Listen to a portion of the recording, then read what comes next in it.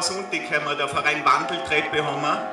Der vereint so an die 30 verschiedene Initiativen in ganz Vorarlberg, die sich für nachhaltiges Leben einsetzen und eine nachhaltige Lebensweise.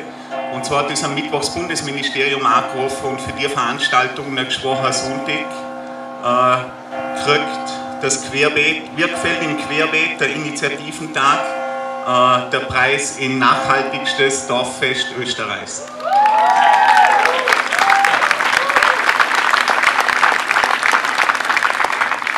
Also probieren wir so, ob wir dem Titel gewachsen sind und ich freue mich auf spannende zwei Wochen. Danke, ja.